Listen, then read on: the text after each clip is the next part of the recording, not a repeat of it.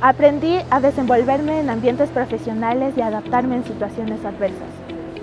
Mis principales retos, los que he superado, ha sido ponerme a la cabeza de un grupo y liderarlo para conseguir los objetivos de la empresa. Cuando ingresé a mi empresa formadora, eh, creí que iba a ser un poco difícil acoplarme a cómo manejaban los procesos y los sistemas, pero las personas que me recibieron fueron bastante abiertas y supieron cómo enseñarme de la manera correcta. Todas las empresas están buscando algo diferente dentro de los chicos que quieren entrar a trabajar y definitivamente los estudiantes duales muestran una pasión por lo que hacen y tienen habilidades adicionales.